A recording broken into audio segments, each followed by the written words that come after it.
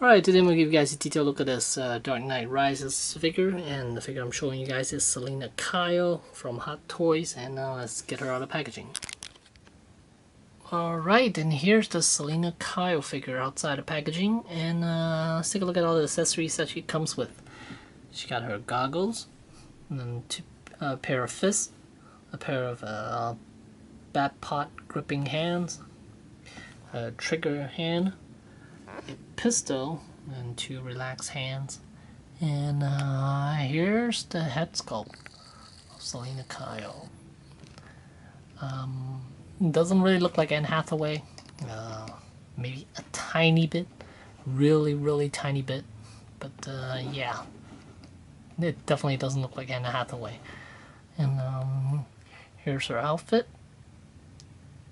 It's a rubbery type material this outfit. And um, the boots and the gloves are um, that really thin uh, material kind of like a Thor's uh, Thor's um, pants that type of material. It's very very thin. Here's the back of her. Well the highlights on her is really good actually. And uh, yeah I believe this this might be the same body they use for um, uh, Black Widow. Are shoes and a very nice base. It's got water drops all over it. Pretty cool. And uh, there's her belt.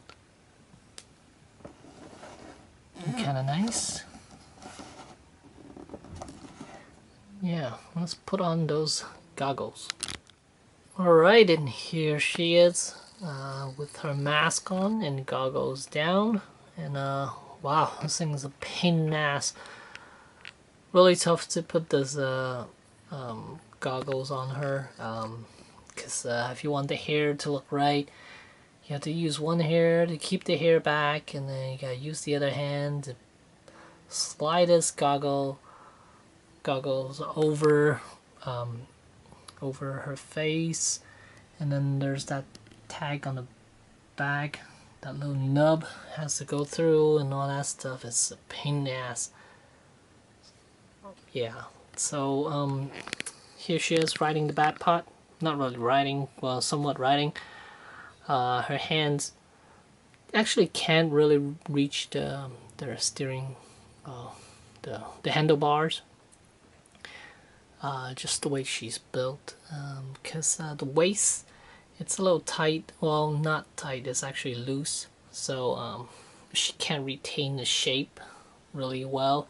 Uh, she could do the 90 degree legs bend but uh, her body can't really bend a 90 degree like they have over here where her waist is like 90 degree. There's it's pretty much impossible because she does tend to flex back into um, uh, the erect state.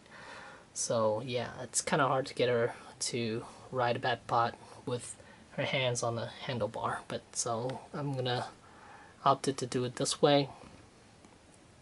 And uh, so it's kind of, it's okay I guess. Um, but I don't plan on keeping her on the Batpod anyway. So it's just for the demonstration here. And uh, yeah, and uh, I don't plan on taking off her goggles now since I since it took me forever to put them on her. So I will lift up uh, the, the visor portion of it. But uh, I heard a lot of people uh, having problems with it. Uh, they're breaking it especially on the on these uh, goggles here because uh, it's just a very thin piece of plastic. And I think people are having breakage over either on this spot right here or up here where it rotates. The goggle uh, the visor piece actually rotates uh, here she is uh, with the goggles uh, flipped up. There's her face right there. Looks way better uh, with the mask on than without.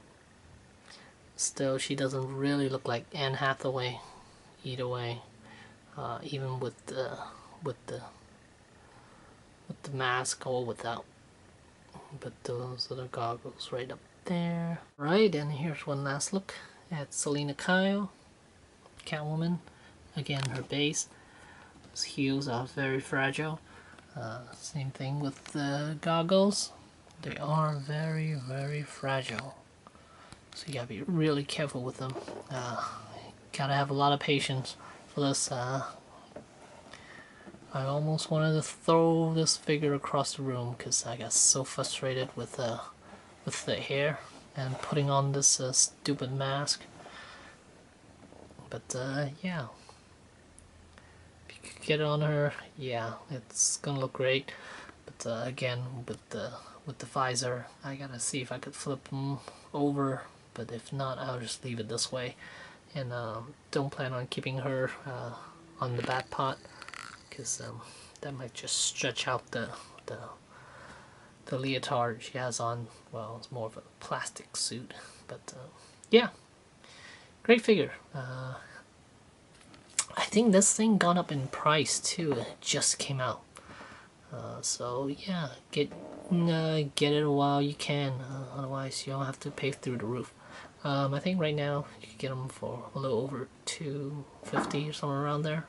But yeah. Here you go, Catwoman from uh, Dark Knight Rises by Hot Toys. Thanks for watching.